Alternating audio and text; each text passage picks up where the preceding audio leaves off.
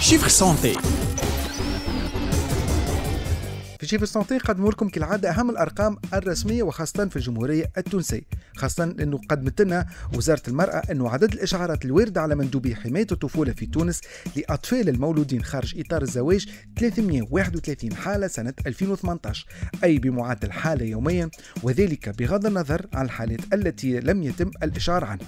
في المقابل ارتفع عدد الزواج العرفي في تونس بشكل ملحوظ بعد الثورة حيث نظرت المحاكم التونسية في 1718 قضية زواج عرفي خلال السنوات الخمس الأخيرة. كانت هذه Chiffre Santé بالنسبة لي اليوم Chiffre Santé.